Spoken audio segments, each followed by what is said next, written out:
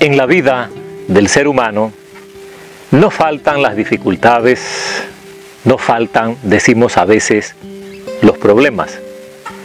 Pero tendríamos que apuntar a encontrar el origen de las dificultades o de los problemas. Porque las dificultades y los problemas no llegan solos, no aparecen de improviso. Se puede decir que de una manera u otra los cultivamos.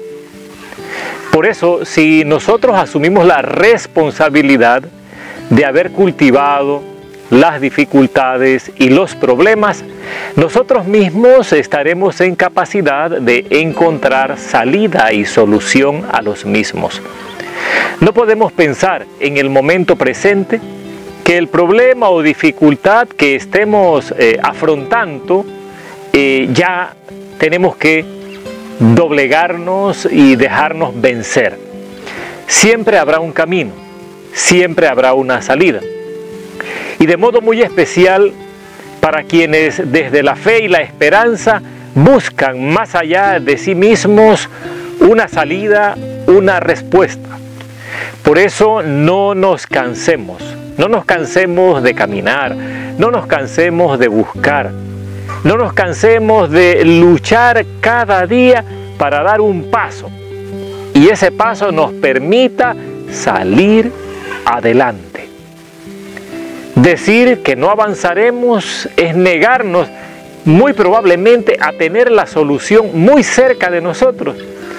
Y no pocas veces bastará un solo paso para que demos por vencida esa situación de problema, de dificultad que nos esté agobiando. Por eso no te canses de caminar, no nos cansemos en medio de toda esta temporada de pandemia, que ya lleva más de un año afectando a toda la humanidad. Ninguno de nosotros ha escapado, escapa a los efectos de esta situación.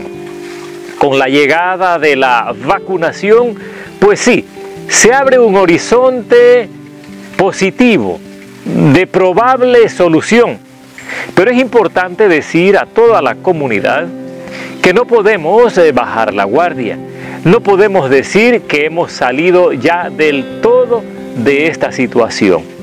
Necesitamos seguir previniendo.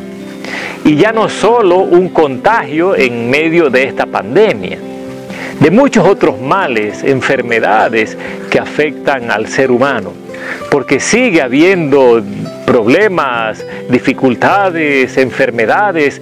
Lo vemos a diario en nuestros hospitales, clínicas.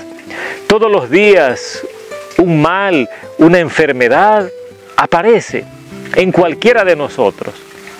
Y ojalá que para cualquiera de nosotros el reconocer una enfermedad nos abra también a la posibilidad de poder curarla. Y siempre será bueno que cada persona, que cada ser humano tenga, tengamos la oportunidad de poder curarnos, de hacer todo lo posible para vencer esa enfermedad.